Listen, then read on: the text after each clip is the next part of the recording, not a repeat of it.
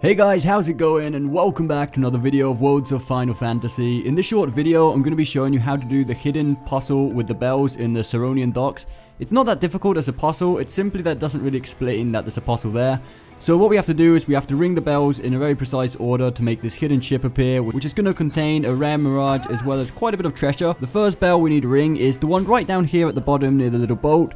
Once we've done that one, we want to head up and ring the second one, which is the one just below the begging block. For the third one, we want to come back down here again, turn left, and use the cannon to fly across the gap. Once we got here, we head to the right, and there should be a third bell here. Now, the fourth and final one is actually the first one yet again. So what we need to do, we need to walk all the way around again, go past the begging block one more time, right down to the bottom, and ring the first bell again.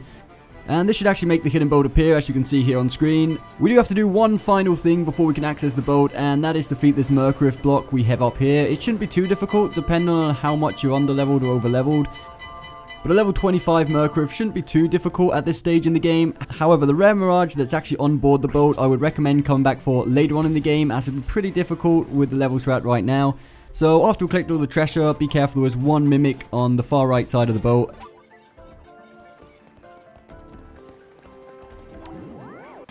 So to actually capture these mirages, all we have to do is make them go berserk, which we can do with abilities, or it's an item I think called the War Gong, which you can see here on screen. The way I like to do this, I don't like to leave one alive by himself, because they can make you go berserk, and if you start auto-attacking, you probably kill off the last one. So the way I did it is I killed about 3 or 4, make sure there's only 3 remaining, so they don't just spam attacks while I'm trying to imprison them. Use the War Gong, and once we've done that, quickly imprison them, and then kill off the rest of them. So anyway guys, I hope you found this video helpful, and we'll see you next time.